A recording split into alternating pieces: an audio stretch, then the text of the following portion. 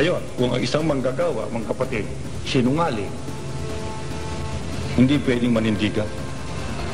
Kung ang isang manggagawa, kakampi sa katiwalian, hindi pwedeng manindigan. Kung ang isang manggagawa, siya pang nagtuturo ng katiwalian, eh lalong masamang manggagawa ito. Wala ng sariling paninindigan, ay siya pang kasangkapan ng Diablo. Eh sino ho yung ganyang manggagawa? Maraming manggagawa natin, halos lahat. Ganyan. Hindi ho ba naman isang napakarahas na pagpaparatang yan? Hindi. Kaya ako nalalaman, sapagkat ang mga ulat na dumarating sa amin, hindi totoo. Bakit hindi naging totoo? Hindi sapagkat ang kapatid ang nagkamali, kundi ang mga manggagawa ang siyang bumabago ng ulat para ilihis ang paniniwala ng pangangasiwa. Kaya yun ho bang mga tagapamahala, nalalaman niya, nalalaman niya ng karamihan. Pero nagkaisa ang mga manggagawa sa loob ng iglesia para linlangin at dayain ang pangangasiwa sa layunin lang gumanda, kuminis ang bagay na marumi at ang bagay na hindi matuwid.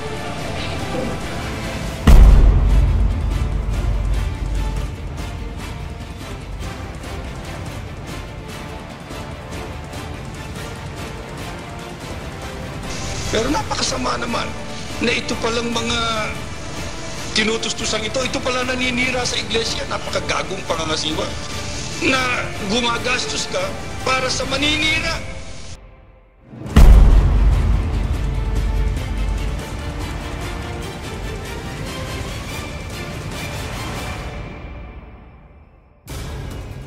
Pero gusto kong masaktan kayo. Gusto ko na higit pa sa masaktan.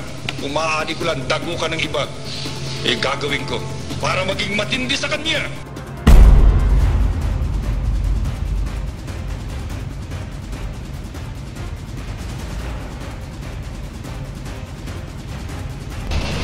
Yung ibang mga kalihim sa probinsya talagang wala, hindi abot ng kanilang kapasidad. Lalo na sa mga liblib na lugar. Paano makagagawa ng pondo?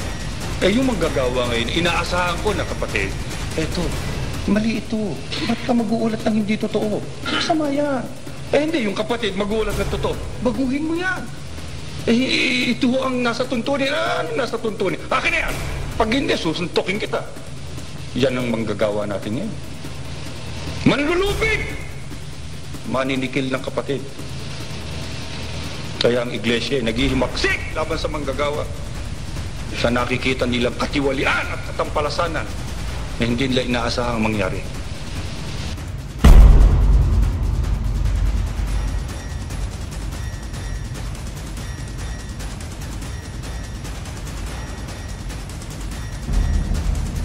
Tumawag ako ng pulong ng mga pamunuan sa Maynila para sabihin mga kapatid, tumulong kayo sa akin.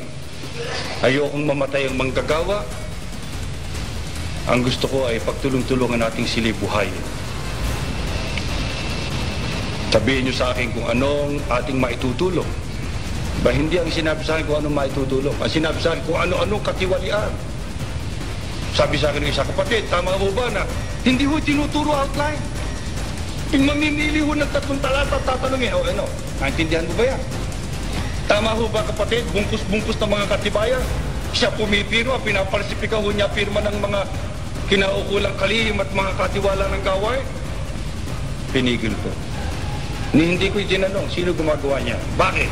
Alam ko ang mga manggagawa sa Maynila, mawawala ng dangal pag nalaman ng lahat siya pala ay magnanakaw at tampalasa. Maski saan ka bumaling, eh, wala kang makikitang liwanag. Bakit kumalat, lumaganap, yung espiritong yan, na dayain ang ulat, dayain ang ulat, linlangin ang pangangasiwa. Sayang ang papel, katakot-takot ang nagagastos natin. Binabayaran natin ang mga empleyado sa opisina. Hindi pala totoo ang sinisiyasat nila.